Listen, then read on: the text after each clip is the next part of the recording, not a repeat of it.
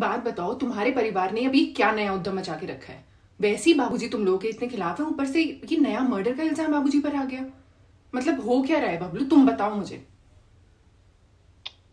अरे यार किसी का मर्डर वर्डर नहीं किया उनने बस ये धमकी दी थी मारने की।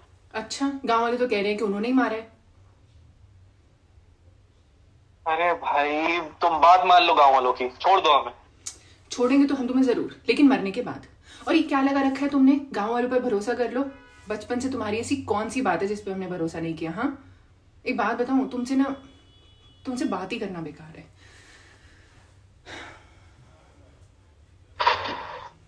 अरे हमें माफ़ कर दो, वो बाबूजी की वजह से बहुत परेशान है। इसलिए समझो ना, आप कुछ भी कह दे रहे हैं।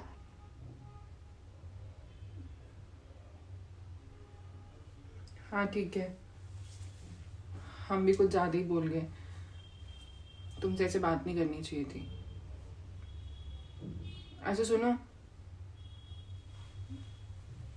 I am sorry